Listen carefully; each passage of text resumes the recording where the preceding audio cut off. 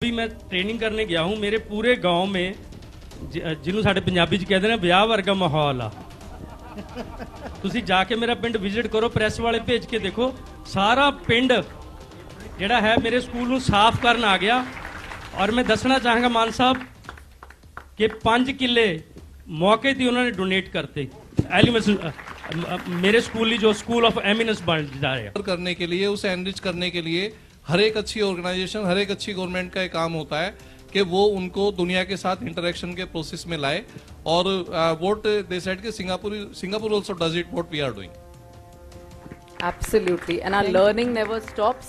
इस futuristic vision के साथ table number seven I could see sir ने बहुत देर से हाथ उठाया हुआ था। Thank you ma'am ji. Our respected visionary CM Sardar Bhagwan Singh Maan, our energetic EM Mr. Harjot Singh Bans, and also I respect Mr. Arvind Kejriwal ji is our country future, and Mr. Manish Sisodia ji is already education minister of Delhi so sir जो हमने वहाँ पे सीखा एक point पे मैं बोलूँगा कि सोसाइटी इन्वॉल्वमेंट कि हमने एजुकेशन में सोसाइटी को भी इन्वॉल्व करना है। इलूमनी आल्सो जो हमारे ओल्ड स्टूडेंट हैं हमने वो पहले से किया हुआ है। मेरे स्कूल में मेरे पुराने जो मेरे my old student mister Hari Singh M D Preet tractors उन्होंने मेरे पूरे स्कूल की जो अ, पंजाब का पहला स्कूल है जो फ़ीस फ्री है।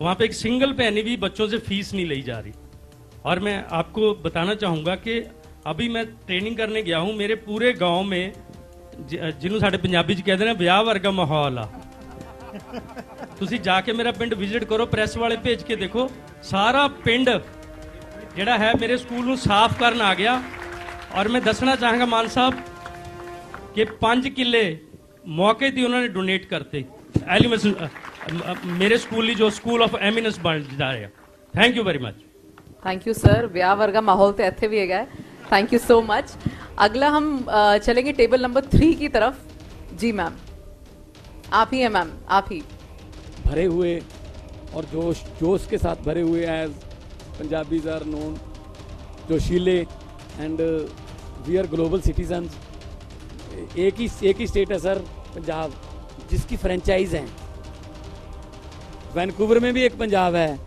टोरंटो में एक पंजाब है, एडमिंटन, कैलगरी में पंजाब है, सैन फ्रांसिस्को में पंजाब है न्यूयॉर्क में पंजाब है, मेलबर्न में पंजाब है, सिडनी में पंजाब है, सिंगापुर में भी गुरुद्वारा साहब देखा होगा, पंजाब है। तो हम तो जहाँ जाते हैं, वहाँ अपना छाप छोड़ते हैं तो इसलिए पंजाबीज जो हैं वो अपनी हॉस्पिटलिटी के लिए और हार्ड वर्किंग के लिए भी जाने जाते हैं। मुझे उम्मीद है मुझे उम्मीद है कि ये जो छत्तीस हमारे टीचर गए हैं, ये इनको कई गुना से मल्टीप्लाई करेंगे अपने बच्चों को सिखाने में और फ्यूचर में और भी अच्छे अच्छे ट्रेनिंग जो ट्रिप्स हैं, जहाँ भी हमें अच्छा मिलेगा सीखने के लिए। जैसे आपने कहा है कि टीचिंग की बजाय लर्निंग तो सीखने के लिए कहीं भी जा सकते हैं। तो मैं यही कहूँगा कि ये देश जो है, ये रंग बिरंगे फूलों का देश है। गुलदस्ता कभी भी एक रंग का नहीं होता। अगर एक रंग के फूल हैं, गुलदस्ते को दो दिन से ज़्यादा आप देख नहीं पाओगे। उसको देखते ही इसीलिए क्योंकि उसके रंग बिरंगे फूल हैं। हर फूल का अपना रंग है। लंबे सफ़र को मीलों में मत बांटिए, कौम को कबीलों में मत बांटिए। एक बहता दरिया है मेरा भारत देश। इसको नदियों और झीलों में मत बांटिए। इस देश को नंबर वन बनाना है, जो सपना है अरविंद जी का। और हमारा सबका सपना है, हम उनके सिपाही हैं। और जहाँ जहाँ ड्यूटी लगेगी, जिस मोर्चे पर भी ड्यूटी लगेगी, हम काम करते रहेंगे। हम कोई कोई भी हमारे, हम चार बैठे हैं, वो वकील, एलएलबी हैं, सर, आईएएस अफसर आई आईआरएस अफसर ये जीटीवी में बहुत बड़े पत्रकार थे, मैं कलाकार था।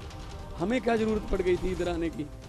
लेकिन दिल में एक जुनून था कि दुनिया में आते हैं लोग, चले जाते हैं, लेकिन कुछ ना कुछ करके जाएँ देश के लिए।